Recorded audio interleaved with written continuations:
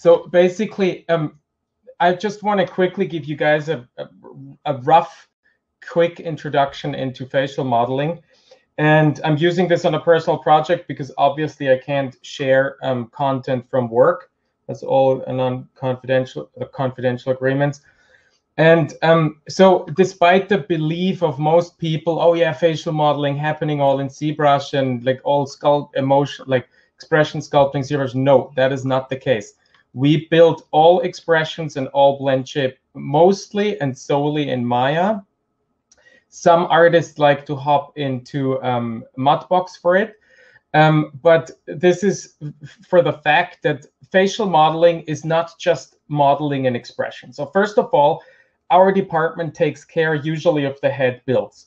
So we built the head from the scan if if there. In my case, when I worked on the Martin Luther King project, I was blessed with not having a scan. That is always fun.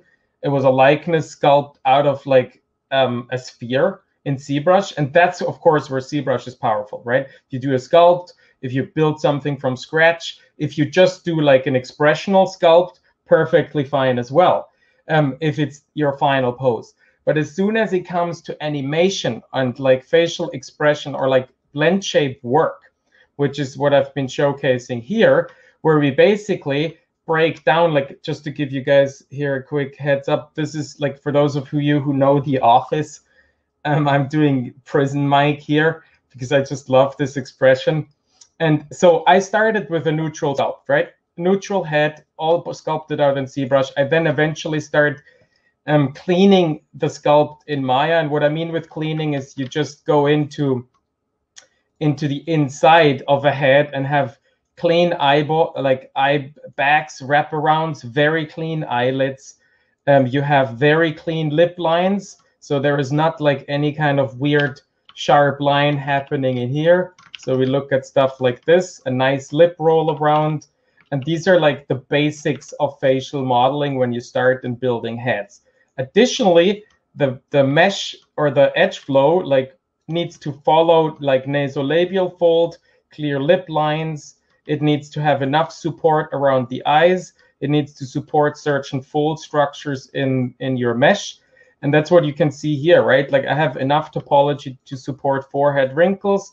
I have enough topology to support um, closing eyelids and detail on eyelids. And I can actually sculpt in details here as well for like worried looks or like um, um, brow lowers and things like that. And this mesh is not even high. At Digital Domain, we have a base mesh, mesh which is over 100,000 polys or like around 95,000 polys. And the reason why we keep them so high is because we need to be able to sculpt on them in Maya.